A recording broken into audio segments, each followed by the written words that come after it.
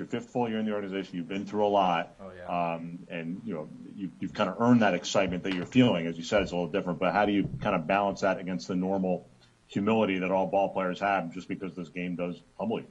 Yeah, you know, um, I try not to. Uh, I try not to think that I'm going to come into the season and just hit 60 home runs because of the way the off season went. You know, it's uh, it's really fun to hit in the off season, but it, it's it's hard. So coming into the season, I try to balance what the actual expectations are versus how many home runs I hit off of the HitTrax in the off season. But you know, it's I think for me, the thing that I'm most excited about is the possibility to get a full season of at bats and and really just to see kind of what I'm capable of because I do, in my mind, have expectations that I'd like to see come to fruition. And the game is hard. It's a lot harder. I feel like playing in New York, but I feel like the last couple of years have prepared me for what it's like to have highs and what it's like to have lows and, and really how to find that happy medium to just go about my business the right way.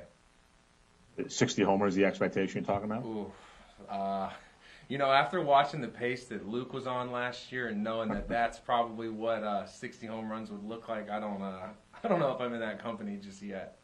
Do you have specific numbers in mind, though, even if you're not going to share them with us? Um, I have a couple bets uh, in my head that I've made with myself. Not bets, I guess goals that I've made with myself. Of, you know, I know I, in my career I have 162 games played, exactly and I'm hitting 258 with 24 and 82 home runs. So to know that over the course of a couple years where I didn't get a consistent amount of at bats, and that's the numbers I put together, I, I feel really good about the numbers in my head that I, you know, kind of have looking at those numbers. So especially with the progress I feel like I've made in some areas of my game.